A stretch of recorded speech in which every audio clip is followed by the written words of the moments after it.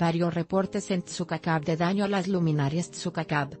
Ahora fue en la colonia Esperanza donde los vándalos de esta cabecera municipal cometieron su más reciente hazaña. Jóvenes de la colonia han tomado las lámparas del alumbrado público como blanco para probar su puntería y las rompen a pedradas, dejando sin iluminación las calles de la Esperanza, aunque el problema no es exclusivo de este sector. Más que malsana diversión, el daño al alumbrado tiene por objeto que, al amparo de la oscuridad, los jovenzuelos puedan hacer con libertad sus fechorías.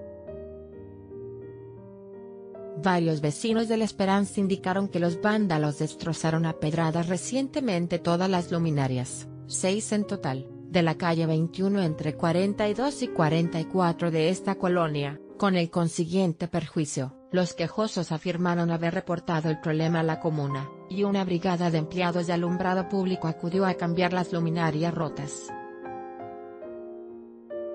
Sin embargo, los trabajadores reconocieron que si los maleantes vuelven a hacer lo mismo, es muy probable que los vecinos se queden buen tiempo a oscuras porque tenemos una lista de varios reportes por atender. Los lanzamientos fueron con tal fuerza que incluso rompieron los protectores de metal de las lámparas.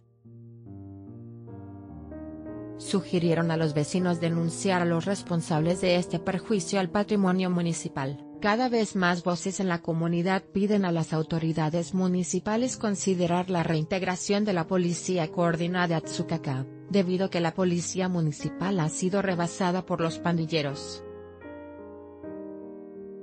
La SSP acordó respetar la solicitud de la actual administración municipal de no realizar patrullajes debido al clima de desconfianza que generó la muerte de José Alfredo Chan Navarrete, Morris, el 19 de julio pasado, en la comisaría de Escobiacal, Martin Chak.